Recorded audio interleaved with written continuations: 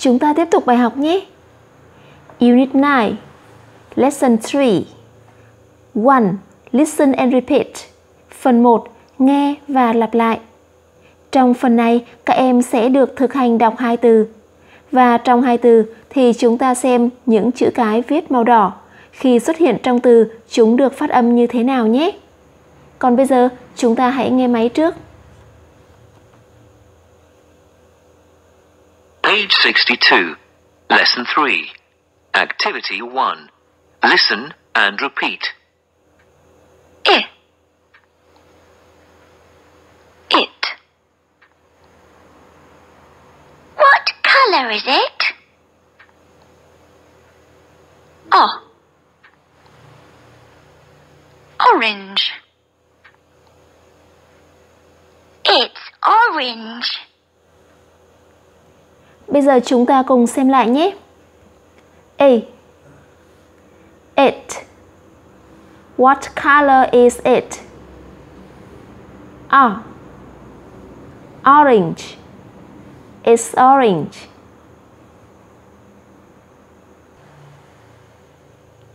Two. Listen and write. Phần này chúng ta sẽ nghe và viết. Các em sẽ nghe máy và chúng ta xem hai câu bên dưới có hai từ còn bỏ trống. Các em nghe và nghe thấy từ nào chúng ta sẽ viết vào chỗ trống nhé. Chúng ta lưu ý đến các từ mà mình vừa thực hành trong phần 1. Trước khi nghe, chúng ta sẽ xem trước. One chấm chấm is my school bag là cái cặp của tôi. Và chỗ này chúng ta còn thiếu một từ. Two My favorite color is chấm chấm màu sắc yêu thích của tôi là như vậy chỗ này sẽ là một từ và chúng ta có thể đoán trước đó là một từ chỉ màu sắc còn bây giờ chúng ta sẽ nghe máy và hoàn thành vào chỗ trống nhé Page 62, Lesson 3, Activity 2. Listen and write. 1. It is my school bag. 2.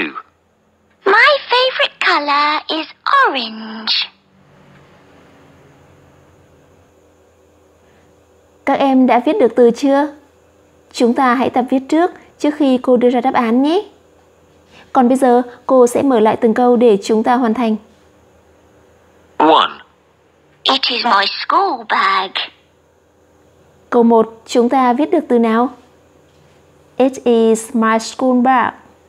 Đó là cái cặp của tôi. Chúng ta có từ it. Các em viết từ it vào chỗ trống này nhé.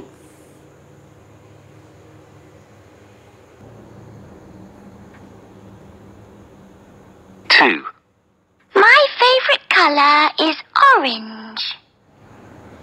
My favorite color is orange. Màu yêu thích của tôi là màu cam. Chúng ta có từ orange để viết vào đây nhé.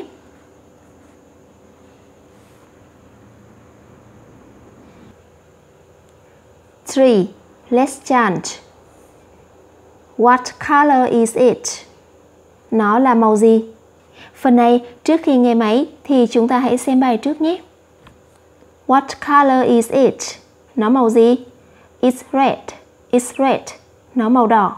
Nó màu đỏ. What color is it? Nó màu gì? It's green.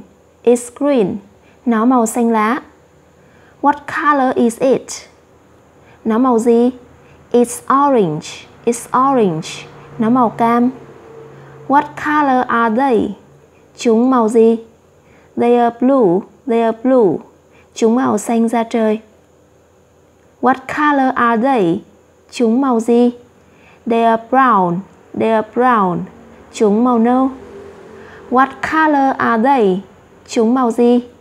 They are black. They are black. Chúng màu đen. Bây giờ các em hãy quan sát vào bài và chúng ta nghe máy nhé. Page 62, Activity 3. Let's chant. What color is it? One, two, three, four. What color is it? It's red. It's red. What color is it? It's green. It's green. What color is it? It's orange. It's orange. What color are they? They're blue. They're blue. What color are they?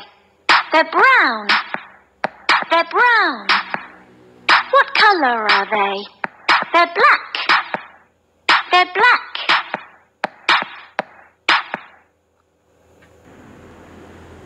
Four, read and match. Phần 4, hãy đọc và nối. Chúng ta sẽ đọc các câu 1, 2, 3, 4 ở cột bên trái và các em nối với các câu trả lời ở cột bên phải sao cho tương ứng thích hợp nhé. 1. Is that your school bag? Đó là cặp của bạn phải không? 2. What color is it? Nó màu gì? 3. Are these your rubbers? Đây là những cục tẩy của bạn phải không? Những cục tẩy của bạn phải không? 4. What color are they? Chúng màu gì? Và chúng ta xem trước các câu trả lời nhé. A.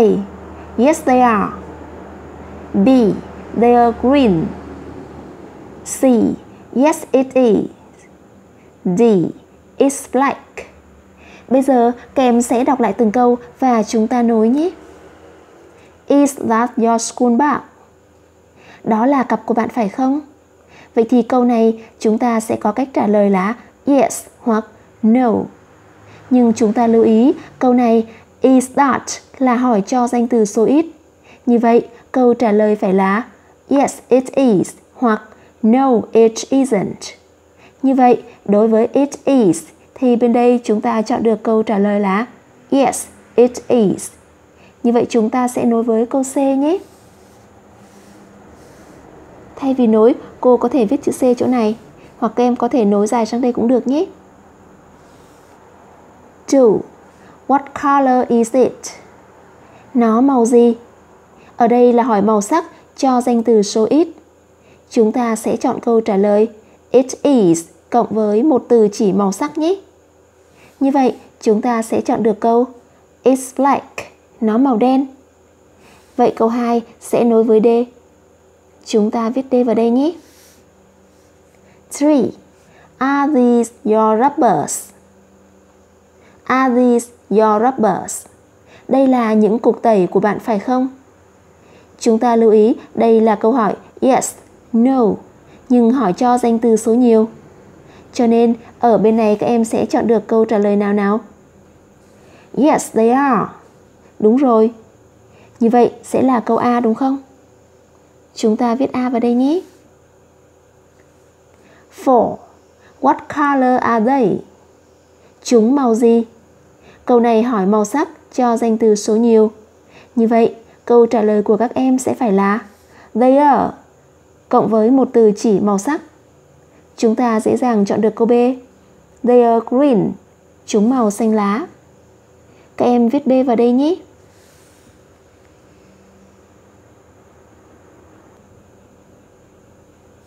Five. Read and complete.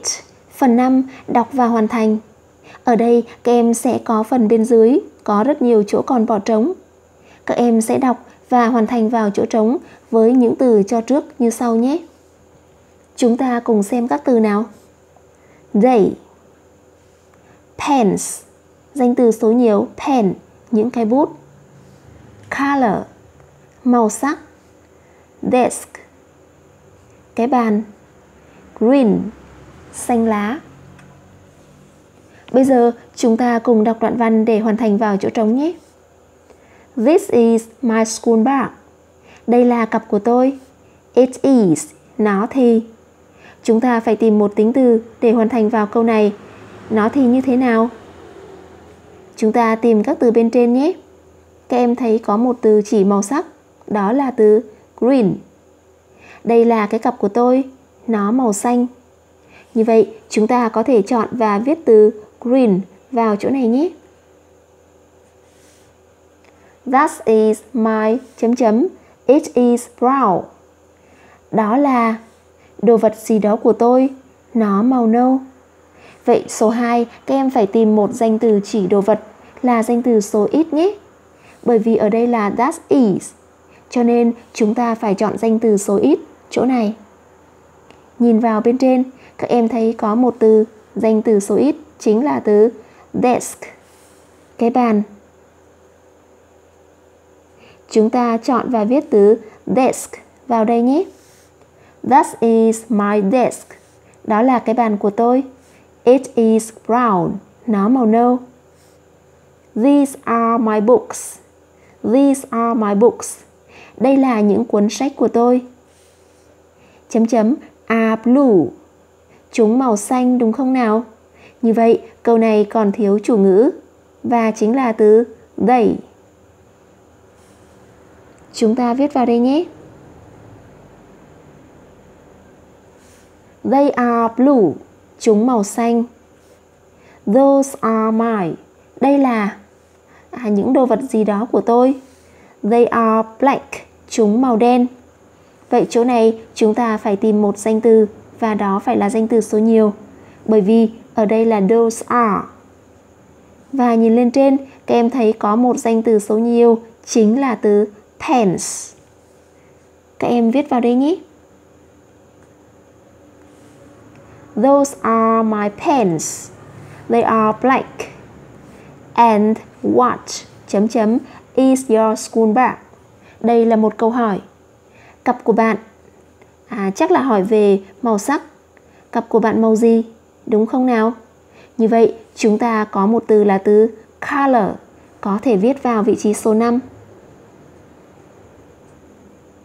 Và các em sẽ được câu hỏi What color is your school bag? Cặp của bạn màu gì? And, and what color is your school bag? À, còn cặp của bạn thì màu gì? Như vậy, chúng ta đã hoàn thành xong phần số 5. Các em qua phần tiếp theo nhé. 6. Project Phần 6 là phần dự án. Color the rainbow. Talk about it with your classmate. Phần này yêu cầu chúng ta là hãy tô màu cầu vồng. Các em có từ rainbow. Rainbow là cầu vồng nhé. Color.